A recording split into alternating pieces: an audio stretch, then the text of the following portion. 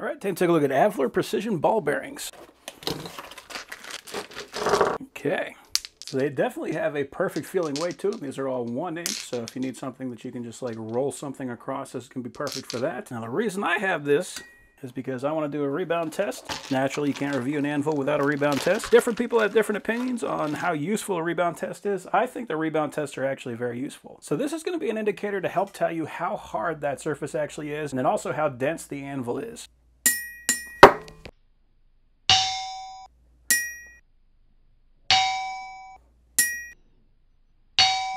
So we're looking at about, I would say eight and a half, but we can play that back.